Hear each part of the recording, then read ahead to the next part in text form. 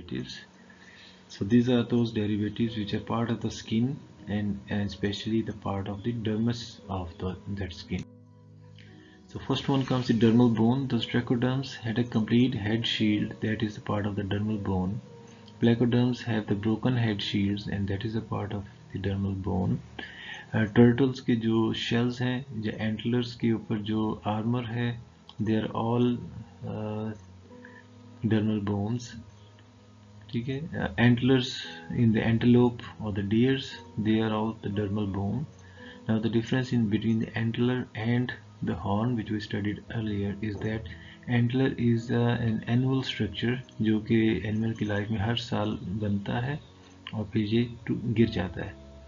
ठीक है? Once grown when they grow they have the skin on top of that that is called the velvet and at some specific time that velvet uh, is shed and only the naked bone remains and कुछ अरसे के बाद वो naked bone भी गिर जाती है and then they develop a new antler for the next year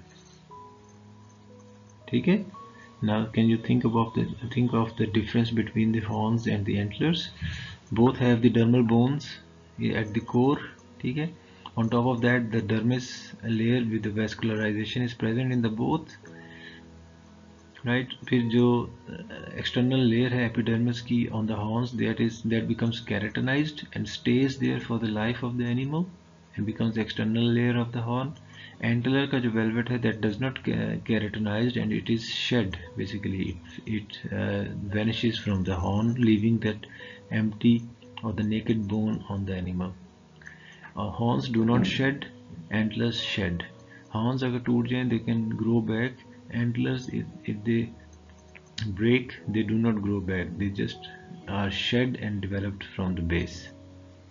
okay, secondly is the shells scutes and bony plates. They are the specialized dermal derivatives of the animals from reptiles. You see that, uh, shell of a turtle is made up of that specific bone. These spiny structures in the middle uh, figure middle image from the crocodile these uh, are also the dermal bones. They are called um, scutes. And the bony plates in the lizards or other uh, reptiles they're all types of the bones produced from the dermis.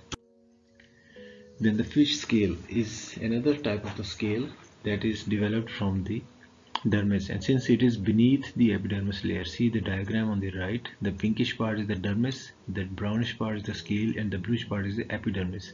So epidermis is kind of transparent and it covers all the scales and hence scales do not shed fish do not have to shed their skin they grow with their skin.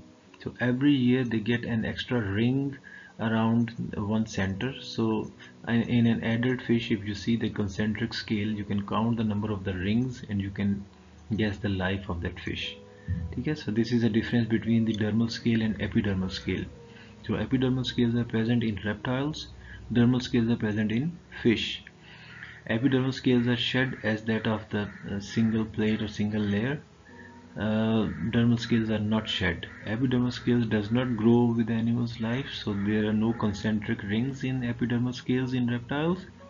But in the dermal scale, the scale grow with the life of the animal, and they add on the extra material, keratinized material, to give concentric ring appearance, and it can be used to uh, guess the life of the animal. Okay, I think that's clear enough. So we move ahead. Then the type of the scales is the placoid scales that are present in the sharks. You remember we studied that in, in the, when we studied the uh, classification of uh, gnathostomes, Elasmobranchii. So they are made up of the dermal scales, but the difference is that the dermal scale has a further layer on top of that is made up of uh, enamel-like structure or dentine-like structures that give them very rigid appearance. In that uh, diagram at the bottom you see there are four parts. The first that explains the development of a placoid scale. In the first diagram you see the aggregation of the dermal mesenchymal cells at one point. So okay, students uh, mesenchymal cells are those cells which are basically stem cells. They can develop into anything. They're undifferentiated cells. So multiple of those cells accumulate at one point like in the figure figure uh, on the top left you see. So these cells then start uh, pushing that epidermis outside making a uh, hump like structure right? Then that hump like structure and underneath epiderm uh, mesenchymal cells makes the dermal papilla. Then that grows continue grows and pushes the skin outside and makes the thick uh, scale or placoid scale of the animal